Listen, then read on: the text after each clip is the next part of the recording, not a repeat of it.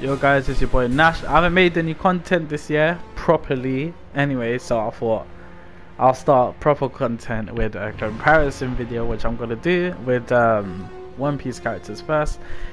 If you've been on my channel for a while, you know that I bang out um, Burning Blood a lot and I love that game. Ben Blood's too good. And luckily for me, I have both of them and the same developers developed both. So you can, with the comparison video, you see how much love they put in both games and how much love they put in each character and stuff. So, let's do this. So what we're going to do is the generic auto combo first.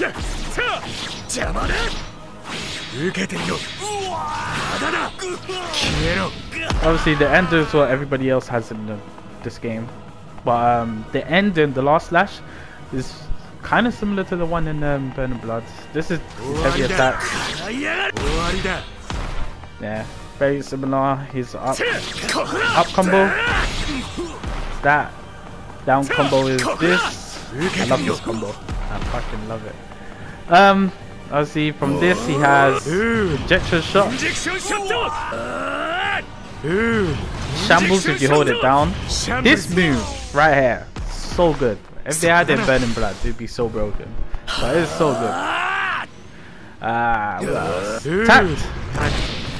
I know Burning Blood don't have that, but it's in Pirate Warriors 3 and probably 2 as well. Radio Knife. Same, similar ended as the Burning Blood one, but in this game it's unblockable, it takes 2 meter. In Burning Blood there's no meter, so... Then there's just a generic awakening for everybody in this game. Oh. But he has his arm attacky aura bouncing off him. It's quite cool. Because this game don't have the Haki system where Burn Blood does. And then his oh obviously runs up to you, slash man up, shambles, gamma knife.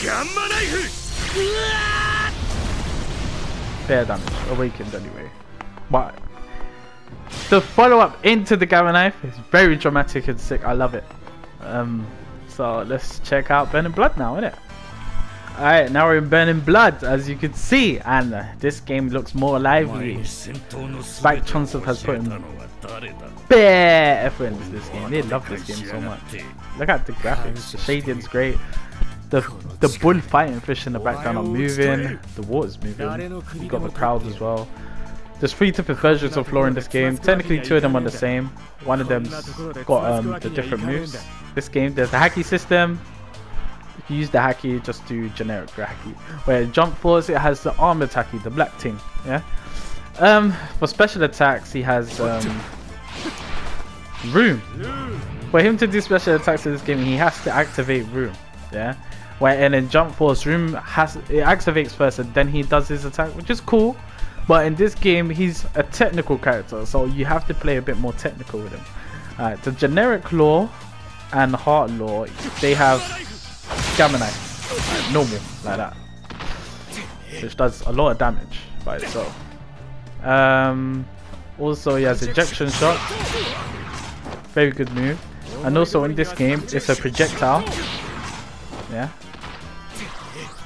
Um, next thing um, obviously because room is not um, a move in that game. Um, jump in Burning Blood, if you press back square and you're outside of it and your opponent's inside of it, you can kill him. You can have a tap room or hold it down to make it bigger, but obviously whilst room is out, you, his stamina is supposed to deplete, but his health goes down because there's no stamina system in this game. Um, if you press triangle whilst the room, he instantly goes behind you and attacks you, is cool. Um, his auto combo in room has an ender. Goes straight into injection shot. Without room, it opens. Without room, it just opens up room, which is cool.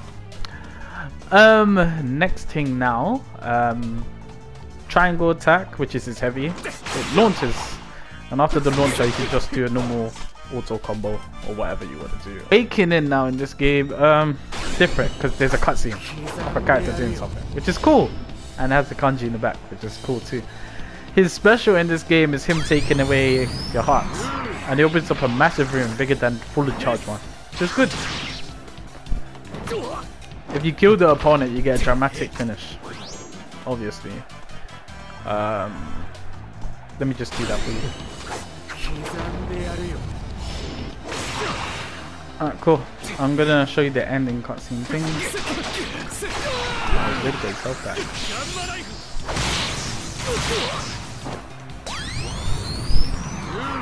I don't think it's gonna work. He got his health back already. Oh no, it worked. Yeah, this is this is the cutscene that you get in this game if you kill the opponent. You get a dramatic finish like that. And obviously, as you can see the room is much larger as usual. Cool. Um, there's three different laws. This is the dual law. His moves different, so that one had injection shot and gamma knife, which Jump Force has. This one, he has radio knife, which Jump Force has. It's not unblockable in this game like in Jump Force, but he also has Blade of Death, which allows sets him up to do combos, which is cool. So I think that's about it really. So tell me your thoughts. I'm planning on doing this for multiple anime games that I have, which have characters in that game for Jump Force. So just tell me your thoughts, like, comment, subscribe. I'm gonna do more.